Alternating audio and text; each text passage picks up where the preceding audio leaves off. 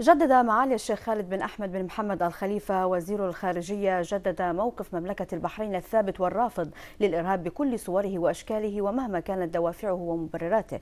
وتعاونها مع كافة الجهود الرامية إلى القضاء على تلك الآفة الخطيرة التي تهدد جميع دول العالم دون استثناء. نعم وجاء ذلك خلال اجتماع معالي وزير الخارجية بمكتبه بالديوان العام للوزارة اليوم مع الجنرال جون آلن مبعوث رئيس الولايات المتحدة الأمريكية الخاص للتحالف الدولي لمحاربة داعش وذلك في إطار زيارته الرسمية لمملكة البحرين حيث تم استعراض الجهود المبذولة لمحاربة تنظيم داعش الإرهابي.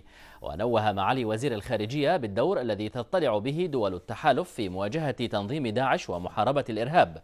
مؤكدا أن تلك الحرب هي حرب ضرورية لأمن وسلامة البشرية معربا عن ثقته في أن النجاح سيكون حليفا لقوى الخير التي تسعى بكل جهدها وقوتها إلى دفع شر الإرهاب والقضاء عليه مهما طال أمد تلك الحرب.